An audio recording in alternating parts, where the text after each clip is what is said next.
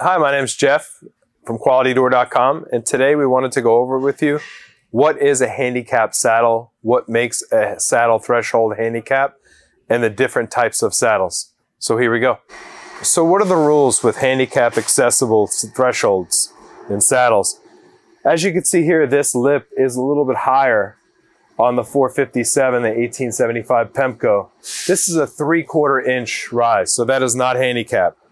We have behind it the quarter inch rise, and in front of it, we have the half inch rise.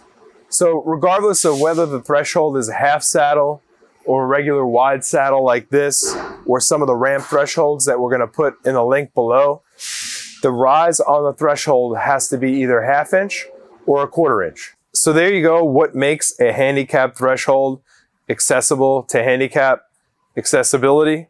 Um, in front of us, we have half saddles, so we'll have those links in the descriptions. Behind, we have full saddles. At qualitydoor.com, we have, probably have the largest stock of thresholds in the industry.